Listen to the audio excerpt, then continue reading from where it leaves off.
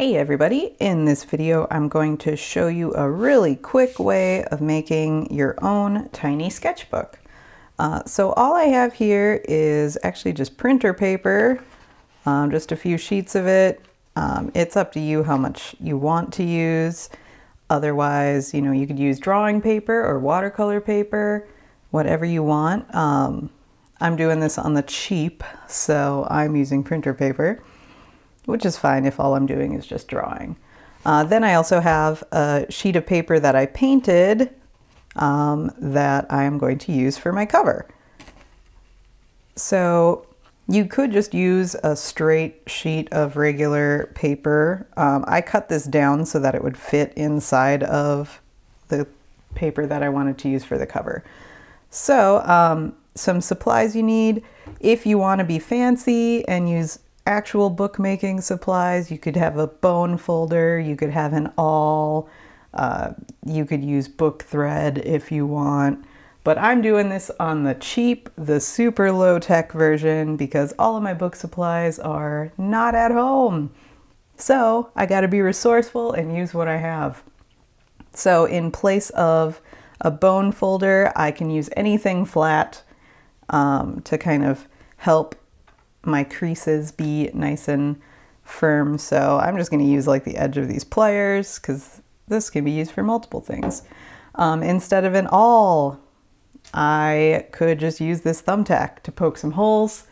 Um, I could use a nail and a hammer. Uh, really like anything sharp you could poke holes through paper with. So working on the cheap. Um, and then instead of using thread to tie this. I'm just going to use some staples and I know that it'll be difficult for my stapler to go all the way through the papers. So I'm actually going to poke holes and like manually staple it. Hence why I also need these to kind of bend my staples over. So let's get started with everything. Um, basically, all I'm going to do is take all the papers and fold them in half. So We'll do that really quickly.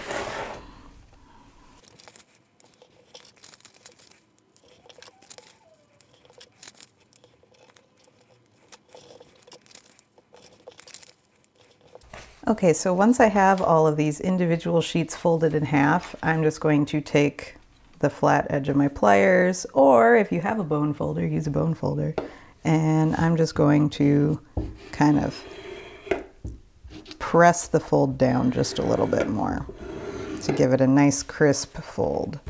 This flattens it, which is really nice. Um,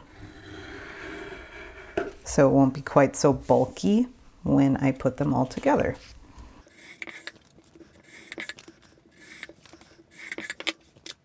All right, so now I'm just gonna set all of these inside of each other.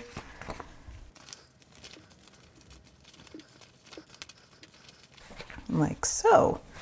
All right, so fun little bookmaking term. A group of sheets of paper that are attached together like this is called a signature. So we could just stick with one signature like this, or we could make multiples and then stitch them all together. Um, since this is kind of our basic extra super simple one, we're just going to use the one signature. Now I need to fold my cover. This one's going to be a little more challenging because the paper is so thick. Um, so I could try and fold it this way, but my paper might crack a little bit if I do that. So I'm going to do something a little bit different here.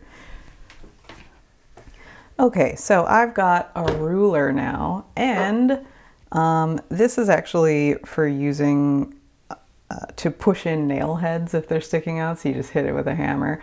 But in the instance that I'm going to use it for is actually for kind of um, engraving into the paper a little bit. So I just needed something with a hard edge. You could use like a ballpoint pen with the tip retracted or like a mechanical pencil with the lead pushed in. So anything where you're going to have kind of a small pointed but not sharp edge.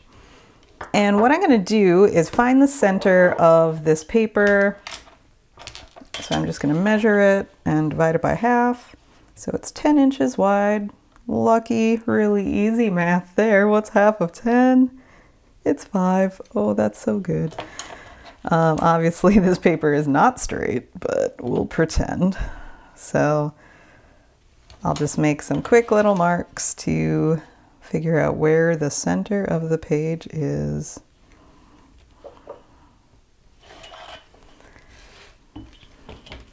And from here, I'm going to line up my ruler along that edge. Make sure it's straight.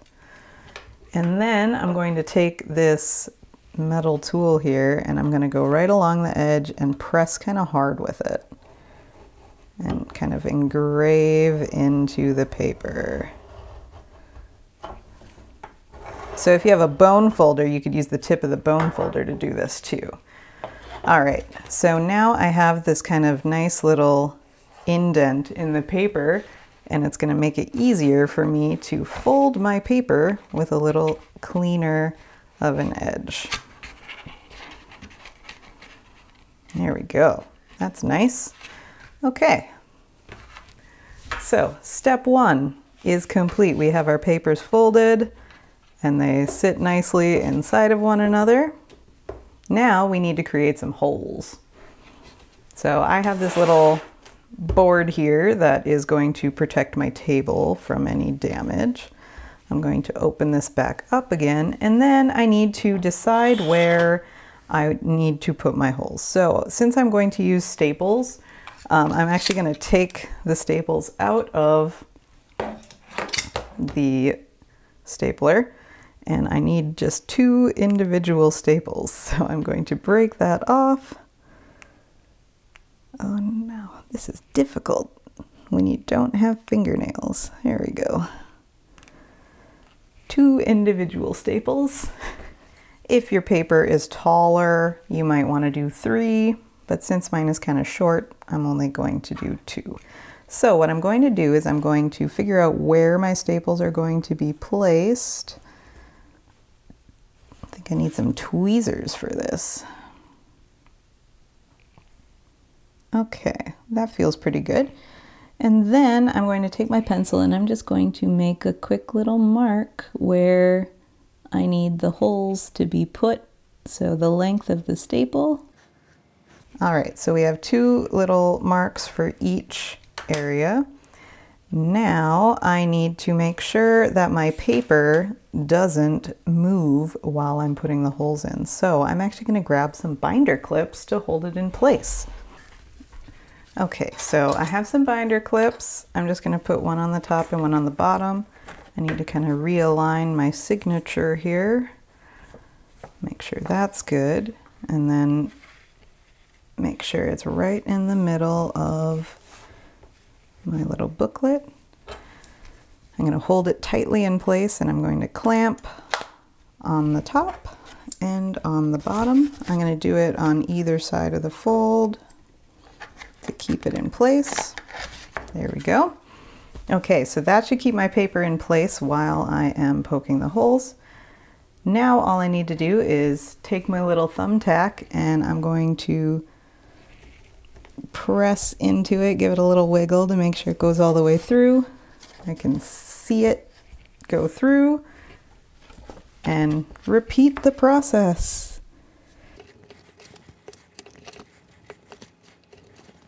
Okay, I have my holes in place now.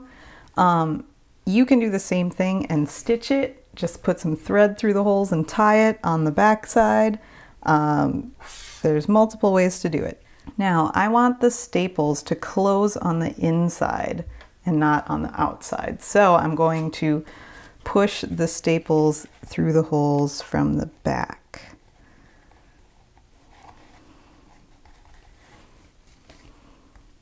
And I'll flip it over and now we have those little pins kind of sticking up there. Going to set that down and from here I'm going to take my pliers and just kind of push the stapler teeth kind of down. There we go. So now it's nice and closed. And I'm just going to repeat the same thing in the second spot.